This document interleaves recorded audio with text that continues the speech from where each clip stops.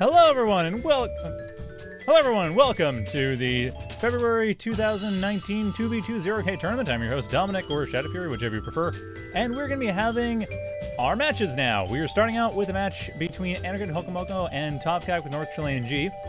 It is going to be on a choice of Thornford, Cold Snap, or Shimmershore. And that is up to the players. Every round, each player is, or each team is going to be determining what maps they play.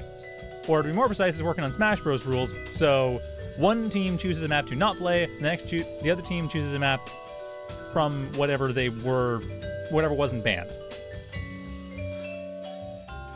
So one team gets to ban, the other team has two has a pick one of two maps that were not banned. Fairly simple, and we'll be getting going once we get Anarchy Dokomoko or Topic Nerd G to start actually setting that up. And at this point, I'm kind of excited because we haven't actually had a tournament with 2v2 in a while, and also haven't had a tournament run by Aquanim in a while, which is very different. Normally, tournaments have been run by Shaman, who usually runs things in a slightly more, I guess, more casual-friendly format, and Aquanim tends to be more of a higher competitive format, so it's a very different style of tournament. I do appreciate Shaman having hosted when they did, but acknowledging now that Aquanim is the one hosting this tournament, so thank you, Aquanim, for hosting this tournament and setting up a very interesting and slightly different rule set for how maps work. Which is good, because the way I've been done before, it's usually either been one per round, which is always a little bit annoying, or it's... I guess usually one per round is the way it's done, yeah. Usually what happens is they have one for every round, everyone in the same round plays the same map, which means that the TO has a huge amount of responsibility in terms of determining maps that people actually enjoy, and that tends to cause problems. But this this way, if people don't want to play a particular map, they have two other maps to choose from. So that works. I, I like that. I think that's a great idea.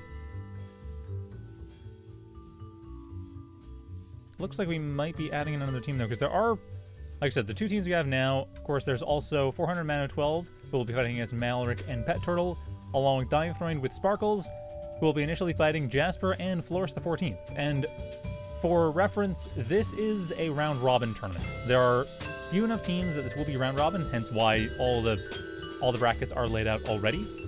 No spoilers, it's just that's that's how round robin works. It doesn't really care about results or anything, it just cares about whether or not there's someone in the tournament and everyone plays everyone at some point.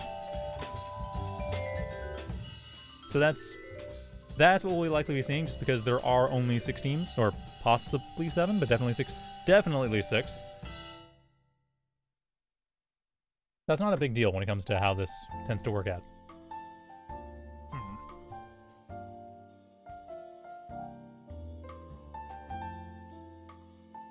So, oh, North Chilean G is late. I've been informed, so I will instead go with 400 412 against Malric and Pet Turtle. Since apparently Chilean G is not able to play the moment. Thank you for letting me know that. That would have that would have wasted a lot of time. And it looks like we will be watching Manu 12 400 against Malric and Pet Turtle on Cold Snap. So that is going to be... I'll be up in a couple minutes. Once we actually get them started up. It should be Shouldn't be too hard, I think.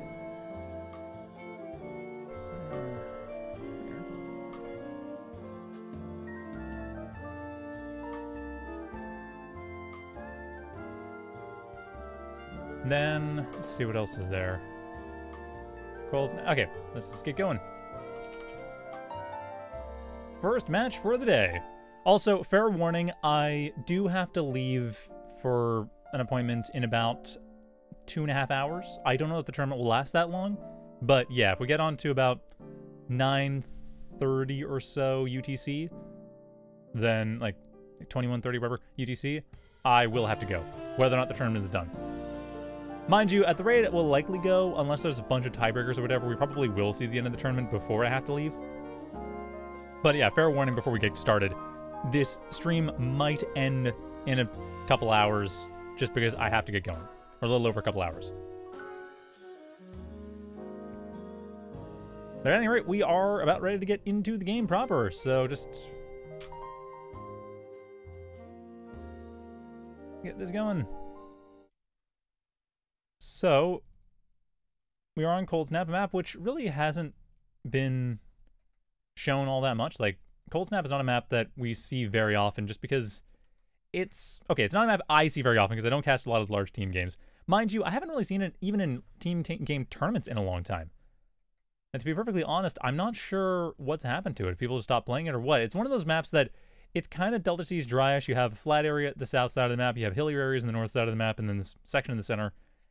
The way often this map tends to work out is you'll have something like vehicles over the south side of the map, and then spiders or bots or whatever over the north or center.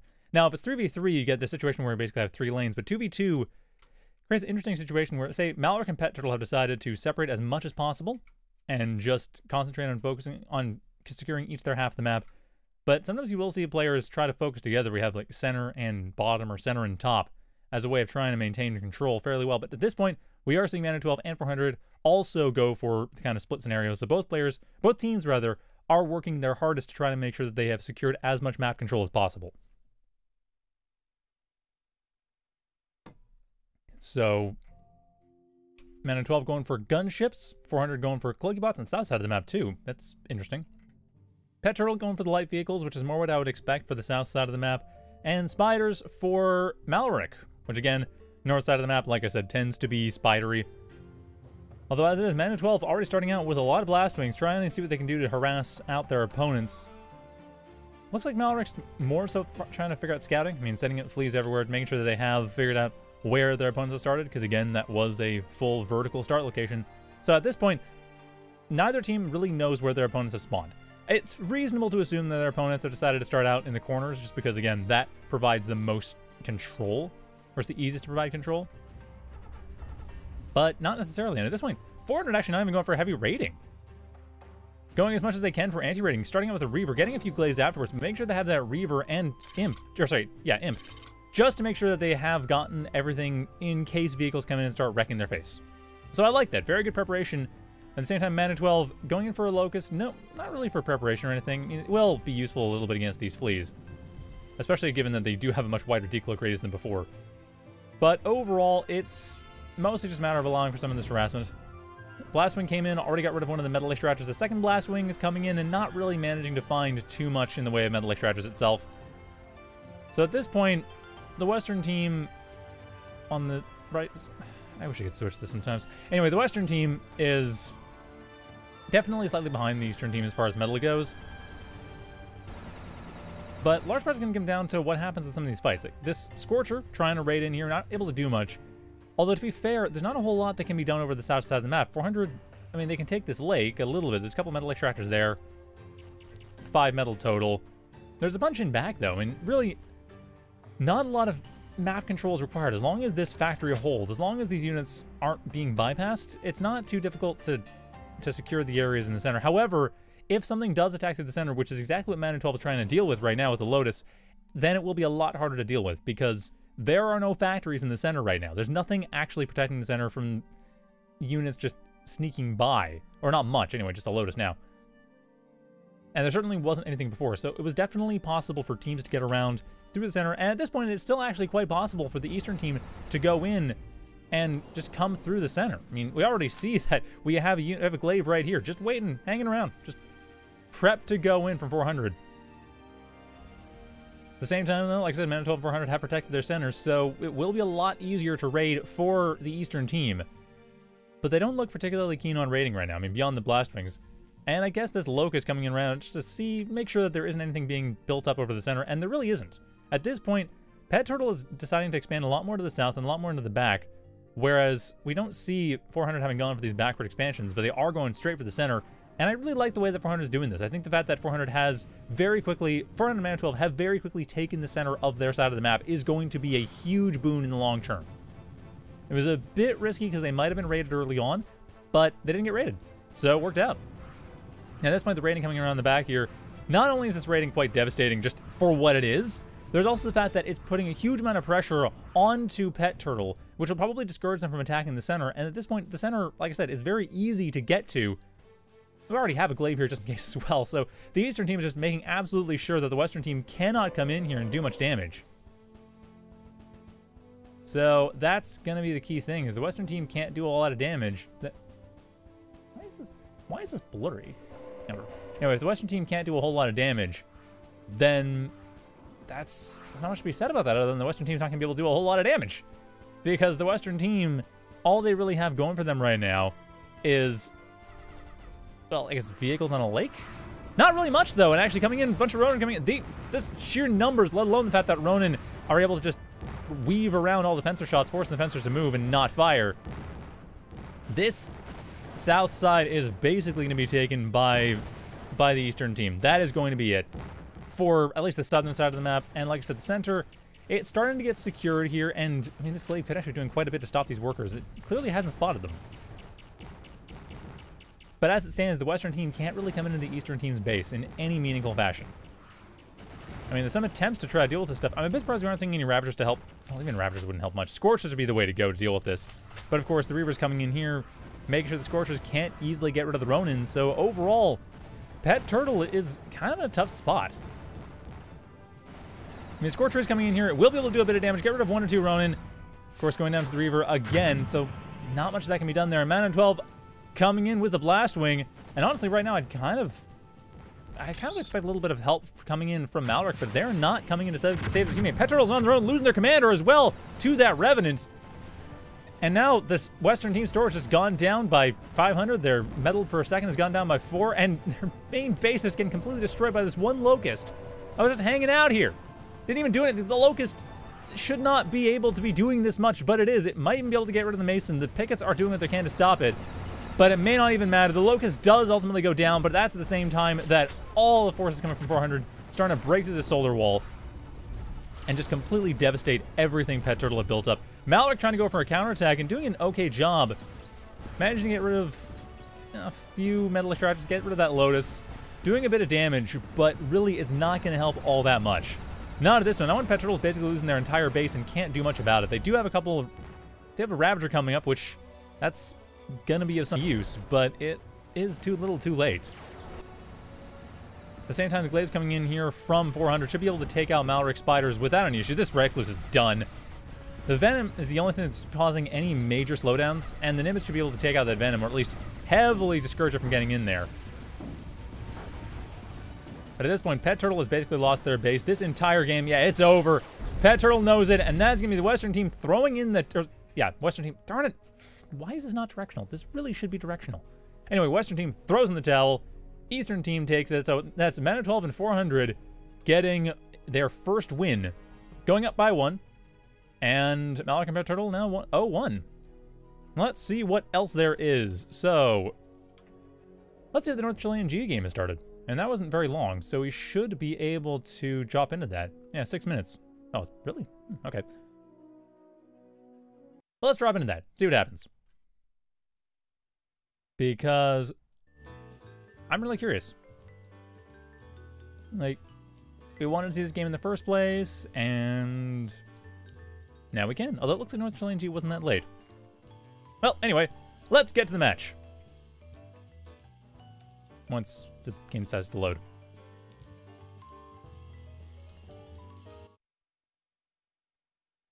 All right, so I haven't seen a lot of Top Topkack or North Chilean G in a while. And we are in Cold Snap again, actually. But everyone's starting in the south side now. No one's trying to take the north side right off the bat. And already we're seeing mostly just harassment to the center. Surprisingly, wow, North Chilean G started really far in the back. Hokomoko decided to go for a mace rush immediately. And this might actually work effective, quite effectively. North G able to take out the initial rush of the mace rush, but it's going to be still tricky, though. Same time, Anarchid Actually, Anarchid is one of the south, interestingly enough. Oh, wait a sec. Okay, did... Wait, seriously? Okay, so North or Hokomoko basically just built the hover factory, tried to go into the Mace Rush, lost the hover factory, and now is trying to... Is actually doing okay. The GBC is fine because they do have a lot of metal extractors in the back. Anarchy did a great job protecting the back lines, but Mumble Clan, they're not under huge threat right now. These two Maces are still in the game. But the Recluses will stop them from actually doing all that much damage. And top Hokomoko's commander is basically the only thing they have right now. I don't really see them making another factory at the moment just because why would they? I mean, Anarchid has a factory, the team has a factory, might as well just go with that factory. Have Hokomoko build up their commander as much as possible, get a little bit of harassment. But otherwise, it's not really worth worrying about too much. North Chilean on the other hand, starting to expand forward, which again, I'm not entirely sure why they built their factory so far in the back, but I suppose it did help against the Mace Rush. That allowed them to get that a little bit faster. Yeah, that's the one thing I'm not sure about here. So Topkack, at the same time, also just building up an army. Not even really worried too much about what's going on in the South Lake. Just building up an army, probably going to try to take the North the, again. I mean, they tried. It got harassed out by a bunch of fencers. But now the fencers are being forced back by the spiders here. And that should be enough time for Topkack to start building... Or, er, yeah, for Topkack to start building up over to the north. Double checking to make sure that there isn't anything already built by their opponents. But no, actually, at this point, Mumble Clan has a lot of knowledge and soft map control over the north side of the map. Now again, both players, or both teams start on the south side of the map almost exclusively, so taking the north side isn't going to be a question of fighting against someone else's defense. Like, if either team had decided to build up a little bit over to the north, it would be much harder for the other team to actually claim the north. But at this point, the only the only team actually making inroads is this Mumble Clan team. At the same time, though, the GBC coming in to make sure that Mumble Clan cannot just take the north for free. And this is actually going to be quite effective. The amount of Fencer, Fencer Mace combo is actually kind of scary. I mean, the Fencers will take apart basically anything that tries to attack from a distance, to try to take out the Maces, anything that tries to take out the Fencers, the Maces will fairly quickly get rid of. Although, of course, that doesn't deal with things like Recluses.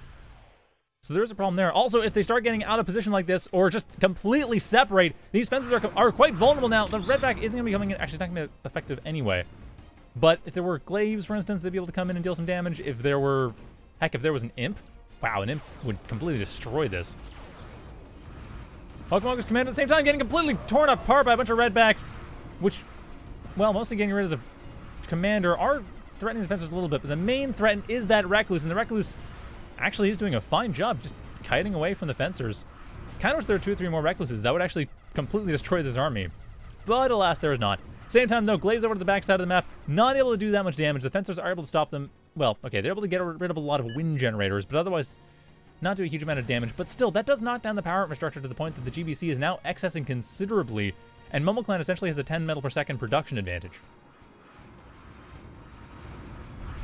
The GBC will probably be rebuilding their energy quickly enough, though, so it shouldn't be a big deal. At the same time, there is still this giant army here, so Mumble Clan needs to wipe out this entire army in order to be able to actually win in this fight at all. Otherwise, it's gonna be kind of painful. And again, there's more Rexes coming back here to try to at least stop some of the production. Unfortunately, not able to do enough damage. Does damage the Impaler coming in, but it's not going to be dead. So it's still going to be able to help out in this fight or how about further harassment? But the main problem, of course, is this Mace Fencer Rush. That Mace Fencer Rush is going to be destroying basically everything. There is one reclu two Recluses. That'll be nice, but just, you need more Recluses.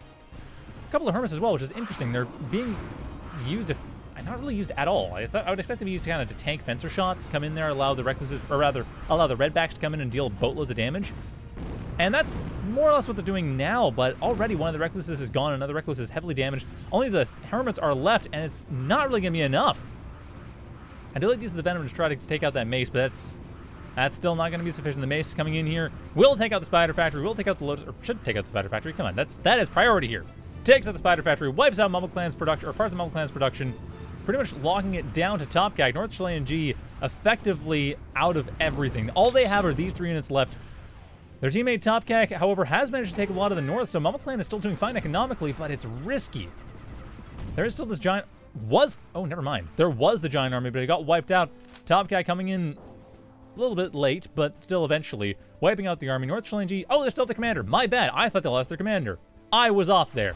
So North Chilean will be able to rebuild, and Topkack coming in to try to provide a little bit of harassment with loads of knights coming in the top, and these should be able to wipe out the factory. Or at the very least, heavily restrict its production. But yeah, at this point, that factory is done. Nothing will stop it in time. So at the very least, revenge has been had for the Mumble Clan. The GBC still accessing quite a bit of metal. Hokomoko's factory is doing what it can and only has 20 metal per second being pumped into it, which is a bit of a shame, especially with the Weaver right there. Could be 27 and a half metal per second, but that wouldn't still be enough to stop the GBC from accessing. And at this point, losing that north side, on top of the fact that the Mumble Clan is taking most of the north side of the map and killing off Anarchid Commander. Nicely done there. That is going to be it for Hokomoko, and yet that is going to take the game. Mumble Clan, despite a huge amount of pressure being applied to them at the start of the match, has managed to work their way back into this, thanks largely to taking the north and just maintaining that economy as they lost, as they lost the south side of the map, while Anarchid and Hokomoko were pretty much just caught in that one corner, and that's all they could really work with. Not to mention, again, the excess.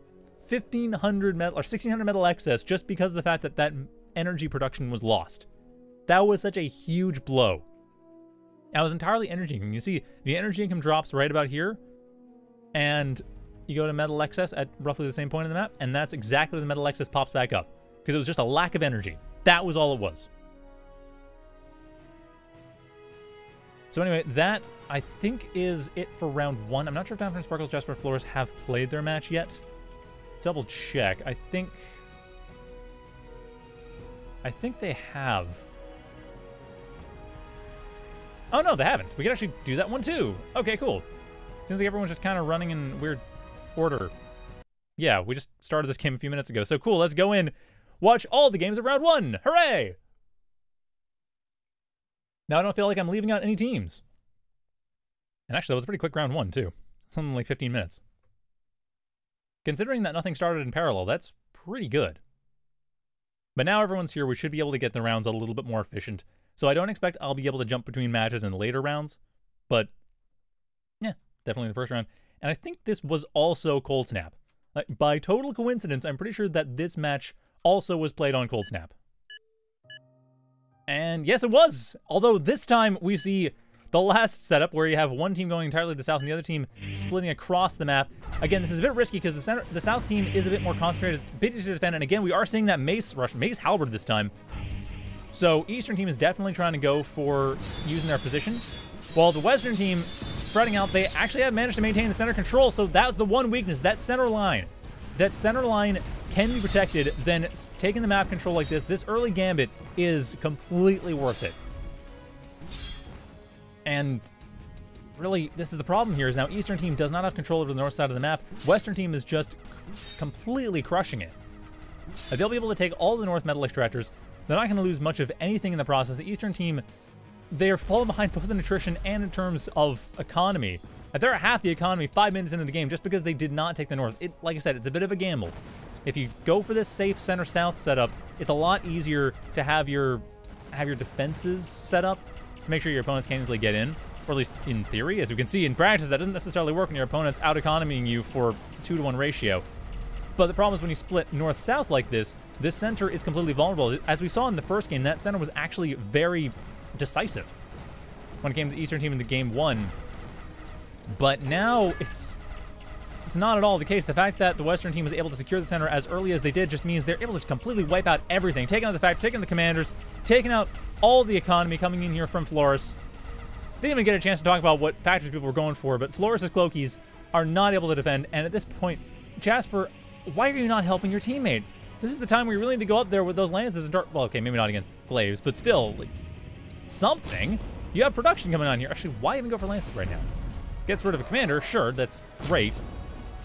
But Mace, maybe? Like, early Mace, get in there, take out some of his forces, or against all this stuff, a bunch of daggers, I would imagine. At this point, Floris is going to lose that Cloakybot factory. I'm surprised they hadn't already, but there it goes. Cloakybot factory down, and the Western team has taken the entire north side. So, yeah, when you when you look at the way it's been set up, this is why people generally go north-south. Why we saw in the first game people went north-south. And it was actually really risky in the second game. The fact that both teams went center-south is the only reason that neither team got the upper hand early on. But if the team going center-south doesn't immediately rush into the center of their opponent's side and start wiping out everything, just divide and conquer, there is no way that that center-south build is going to set up, or center-south start is going to work. Because they're just going to get outproduced, their opponent's going to take the north side of the map, and that is going to be game, as we're seeing right now. So yeah, I think if Jasper and Floris had just combined in a rush very early on through the center, and then probably gone south rather than north because it's easier to attack because they can hit through the lake too and get the nice flank. They would have been able to wipe out everything. But they did not do that, and now they've lost to a massively larger economy. And there goes the resign pull. Jasper opting to throw in the towel. Floris surprisingly not actually going for it, despite the fact that they have literally nothing on the map. At all. Maybe they're just thinking. Maybe they just want to see if Jasper's able to pull this off, but no, they're not. And indeed, that is going to be it. So, right, right as we get in, we get out, because that was the game. So we're going to be moving on to round two. And again, that should be a bit more even. So once once we get that set up, then we will have we'll have more tournament. So stay tuned for that. Round two will be coming shortly.